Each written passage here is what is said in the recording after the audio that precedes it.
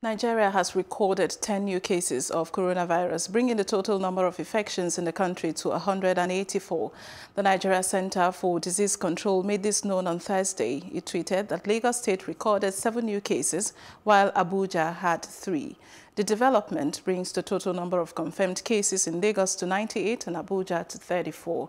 Currently, Lagos has 98 confirmed cases, FCT 38, Osun 40, Oyo 8, Akwa Ibom 5, Ogun 4, Edo 4, Kaduna 4, Bauchi 3, Enugu 2, Ekiti 2, Rivers 1 and Benue 1 respectively.